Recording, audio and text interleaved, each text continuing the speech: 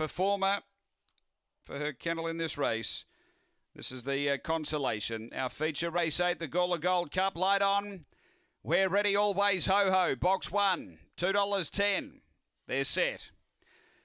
Racing. Always ho ho, step pretty cleanly. Speed. Spring Curvo putting on some dash is going to zip up and find the lead. Spring Curvo leads to the back from Rock and Richard. Always ho ho. A couple of away, sweet on me. Victor Boris and Power Stone down the back. Spring Curvo the leader. A length on Always ho ho, who's coming around it with a strong run. Then came Rock and Richard. A couple of away, sweet on me. Victor Boris and Power Stone, but Always ho ho took the lead. Raced away, coming to the turn from Spring Curvo and Rock and Richard. And Always ho ho takes consolation as second Spring Curvo, third Victor Boris, then came Power Stone, uh, Rock and Richard, and Sweet on Me back at the end. The time here is around 30 and 80. 30 81. And uh, gee, some real strong money late as well for Always Ho Ho, getting it done for Beck Remain.